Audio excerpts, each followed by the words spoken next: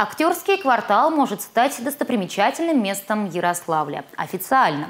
Присвоением статуса уже занимаются в региональном департаменте охраны объектов культурного наследия. Напомним, 12 июня, в День России, под видом реконструкции начался снос одного из девяти домов. Собственница здания посчитала, что может себе это позволить без разрешения в буферной зоне ЮНЕСКО.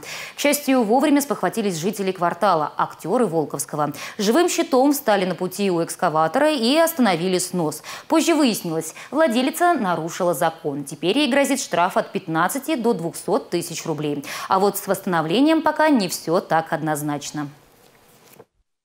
Здесь еще помимо э, всех необходимых обязательных процедур, которые установлены градостроительным кодексом, еще необходимо э, уведомить ЮНЕСКО, подготовить отчет а, Даже воздействие, зону, воздействие да? работ на выдающуюся универсальную ценность объекта всемирного наследия ЮНЕСКО. Осуществлении любой деятельности на этой территории необходимо соблюдать проект зон охраны и требования международного законодательства. После присвоения статуса достопримечательного места весь актерский квартал получит защиту от подобных инцидентов. Регламентами можно будет прописать конкретные виды разрешенных работ, отмечают в департаменте. Сейчас к так называемым топтыгинским хуторам повышенное внимание со стороны общественности. Острый вопрос сегодня обсудили на заседании комиссии областной общественной палаты. Эксперты сходятся во мнении, что это единственный актерский квартал на всю страну. В нем большой туристический потенциал, и его, безусловно, нужно защищать и развивать.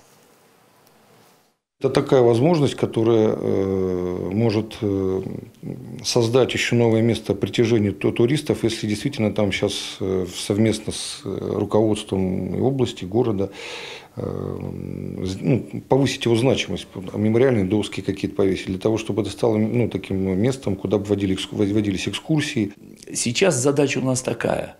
Во-первых, постараться, чтобы эти девять домов под какую-то охрану пошли. Второй момент. Хотелось бы, что та дама, которая так легко экскаватором ломала, причем в День России начала ломать, не надо сильно на ней издеваться, дать ей право восстановить это здание. Пусть она в нем живет, что угодно внутри перестраивает, но внешне он должен быть похож на те остальные, которые рядом стоят.